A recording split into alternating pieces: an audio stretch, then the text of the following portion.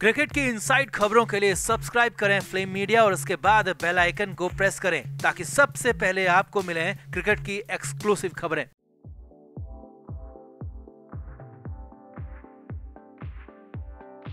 Team India के दो धाकड़ player मुश्किलों में फंस चुके हैं और उन पर बैन लगना लगभग तय हो चुका है।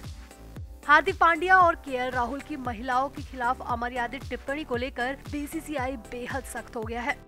खासकर हार्दिक पांड्या के कमेंट्स की तो दुनिया भर में आलोचना हो रही है। चर्चित chat show coffee with Karan में हार्दिक ने न सिर्फ़ महिला विरोधी बातें कही, बल्कि नस्ल भेदी टिप्पणी कर विवाद को और गहरा कर दिया।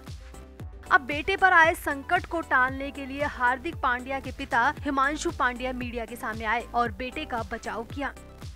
हार्दिक के पिता ने कहा, मेरा बेटा कतई ऐसा नहीं है जैसा कि दिखाया जा रहा है। वो शो में सिर्फ़ दर्शकों को एंटरटेन करने के लिए गया था। वो बेहद फन लविंग है और उसकी बातों को गलत तरीके से पेश किया जा रहा है। हार्दिक के पिता हिमांशु ने आगे कहा, उस चैट शो का नेचर ही ऐसा है और सेलिब्रिटीज पर्सनल लाइफ पर खुलकर बोलते हैं। मगर आज तक किसी पर उंगली नहीं उठी। अगर मेरे बेटे ने थोड़ा सा बोल दिया तो इतना बवाल क्यों मचाया जा रहा है? वो तो बस हल्के फुल्के अंदाज में ये सब बोल गया।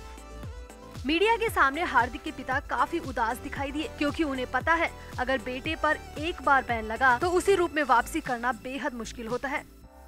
वैसे भी हार्दिक एशिया कप में चोटिल होने के बाद से टीम इंडिया से बाहर ही हैं, और अब ये नया विवाद हार्दिक के करियर पर बड़ी बाधा बनता दिख रहा है। Flame media report.